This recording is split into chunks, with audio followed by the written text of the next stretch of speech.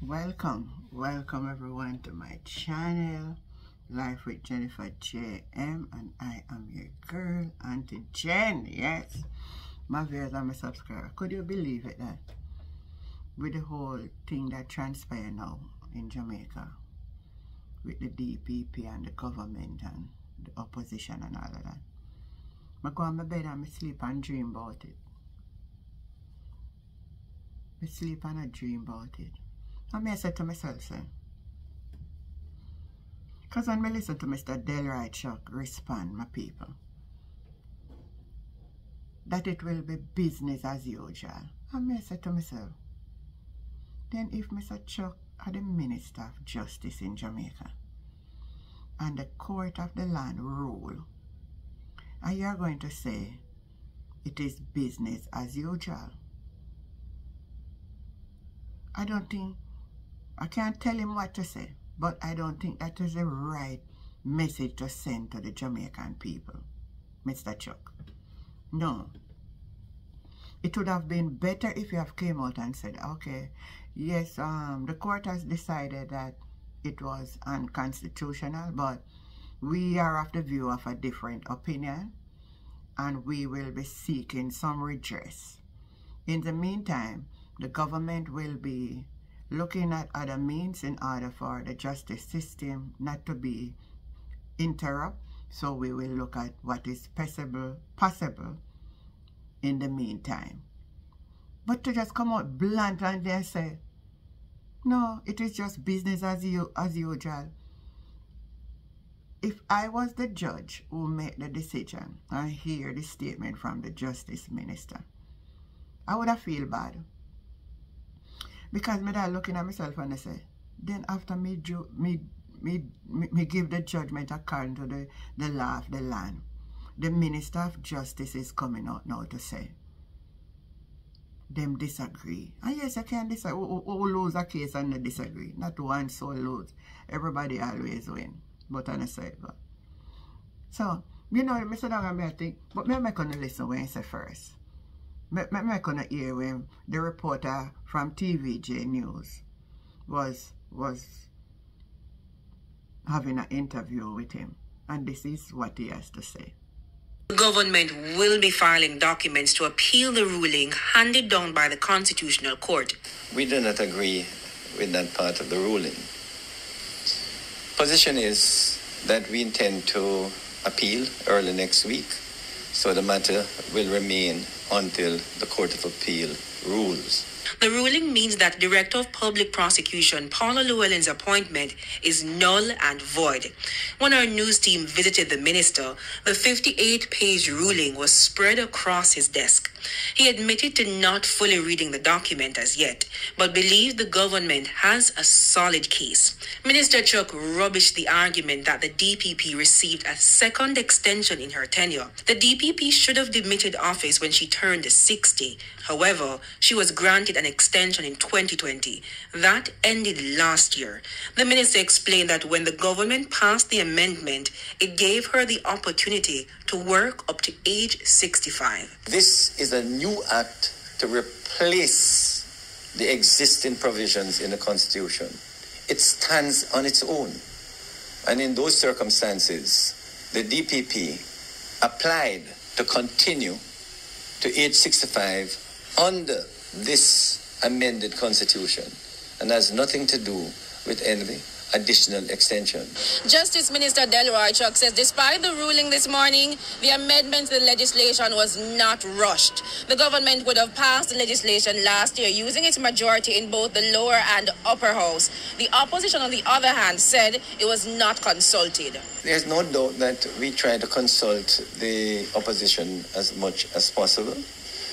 But there comes a point after you consult, you must make a decision. I think the opposition tries to milk as much political capital out of it, which I think is totally unnecessary. So you don't think this amendment was rushed in any way?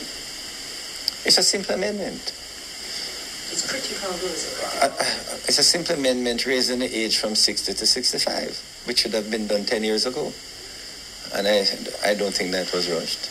As it relates to what happens now, Well, the minister says it will be business as usual, but there are concerns about the impact the ruling could have on several high profile cases currently before the court. We asked the minister, should the public be worried? No, not at all. As I say, the status quo remains, and until the um, Court of Appeal rules, I don't think we have to act differently. So upon hearing what Mr. Delroy Chuck has to say, my people, I am looking in it from another perspective. 49 of them 49 of them is on the government side. We can name some of the old veteran them. You have Mike Henry, who is a veteran. Me not name a young one them like Ruda and all of them on because them young. Them a liar too, you know, but me have say me not two of and all of them are young one. But me, me say me can name as much as me can remember. Mike Henry. Delroy Chuck. Carl Samuda. Andrew Holness in a politics long time from he young. Him, him, him know the politics. And he should have do better, you know. Because he know it, you know. I can like, uh, uh, me would even mention his wife. Because me would mention Andrew's wife. Me say who again in our parliament long. Upon their side. Mr. Edmund Bartlett. Mr. Edmund Bartlett, you were one of them. You, I tell the truth. You're the only one in the JLP that I used to admire over the years. You know what? I used to like your composure. You never look like, the, you, you never, I never see you know, cuss in the parliament. If it I never see it. I think when you see you celebrating your life with your wife for many years, that means you're a man of principle. He's a man of principle. And I want to, and you're, you're also a part of the government, the, the government business. You want to tell me that I'm 49 and we sit down. All Darrell Valdi. Me not bother call film name nor. Me not, me not call their name. Even though they're in there long time, me not call their name. If say, say anything good. Because you want to tell me not even one uno out of 49 can't really, Mr. Edmund Bartlett, I call on you, you can't really take your party and tell them, say, it not look good on some of the things what them are do against the, the law of the land. Breaking the law when they should be upholding the law. None of you can talk to each other. I say, well, it not look good. Not even one. They want to tell me, say, we have 49 people on the government side leading the Jamaican. And not even one can say wrong. Not even one I know that will come out and say it wrong. Because sometimes when you look up on Twitter, we know we call X, because that most of them use. Everything that got Babsy, all Babsy Grange up in the long time. You don't know the rules of the land? That owner can say, no, we can't do it that way. This is the right way for me. You want to say, none of you? Come on now, man. Come on. Don't tell me, say, none of you cannot. Eh? I down and I think about it, you people. I mean, know take it from the depths where I think. I say, no, man. How what could have gone so wrong? Because if we even want to draw back on the 80s with Mr. Edward Seaga, yes, him do some wrongs and all of that. But the truth is, and let us be reasonable, him not so bad, man. He not so bad. And look like we never got call back for Bruce Golding, you know. It seems like never got call back for Mr. Bruce Golding for come and help out the people, the, the, the Jamaica Labour Party. He was a savior back then after Sierra, And he may be on a savior again. Because like him or not, like, like, like him or not, Bruce Golding was more of a disciplined type of person. Everybody at the area, I know where someone going to come say, but nobody with that. And that's not the reasoning. The reasoning is he never broke no whole law. He never broke no law and all of that. He was more of a man of seen order. That is my observation of Bruce Golding. Yes. I was a man who also want to see. So you see, so I'm not biased as well some of the things I'm biased. I'm not biased. I'm not. Bruce never do them something. Bruce never do them something. I don't know much about the other rest of the, part of the, of the, of the, of the, um, the JLP prime minister them.